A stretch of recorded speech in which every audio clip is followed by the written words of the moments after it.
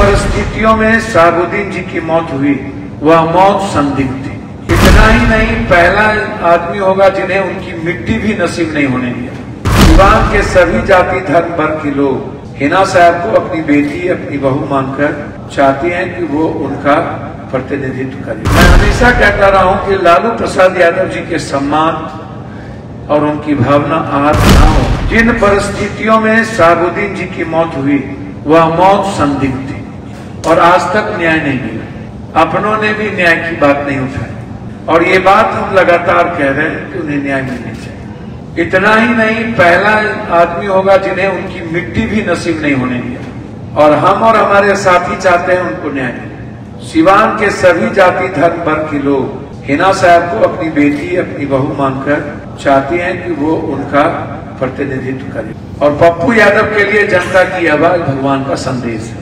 उससे बड़ा मेरे लिए कुछ भी नहीं है। ना मेरे लिए कोई दल है, ना कुछ। मेरे लिए भगवान का संदेश सबसे बड़ा बात हम और हमारे साथी, हमारे नेता और हमारे सिवान के सारे नेता यहाँ आए हुए हमारे पूर्व अध्यक्ष, मुखिया जी, जिला पार्षद, हमारे सारे लोग वहाँ शाहबुद्दीन साहब को न्याय के लिए खड़े हैं। और हमारे सभी बिहार के साथी वहाँ जाएँगे।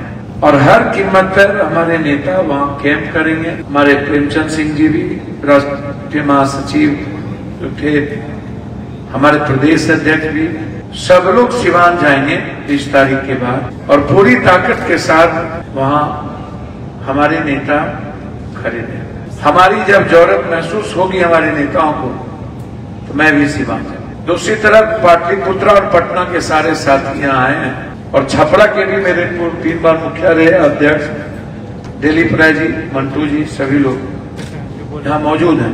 मैं हमेशा कहता रहा हूँ कि लालू प्रसाद यादव जी के सम्मान और उनकी भावना आहत ना हो।